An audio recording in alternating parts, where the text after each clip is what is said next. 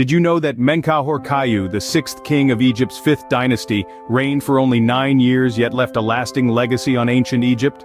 This enigmatic pharaoh ruled during the Old Kingdom period, a time of peace and prosperity, specifically between 2420 to 2411 BC. Despite the relatively short length of his reign, his impact was far-reaching, and he is considered one of the most important kings of the fifth dynasty.